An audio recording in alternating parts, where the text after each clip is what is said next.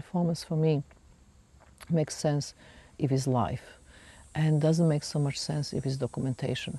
Everything else what left over, like photograph or the video, is not the real thing. The real thing, the audience have to be in the place what happened and to see that.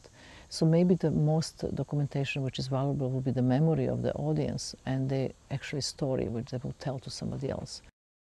And somehow all the artists in the 70s left just documentation and not any kind of solution how this actually can turn into the kind of live process because some artists absolutely don't want to be reperform the pieces because they felt that they, they've done it in a certain period of time and that doesn't work later on.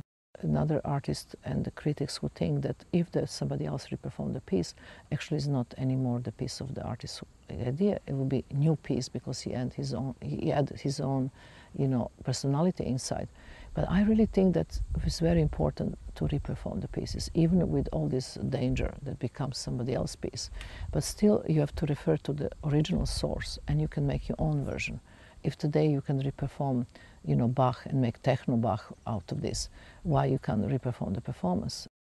It's the only way that the performance have this live element inside.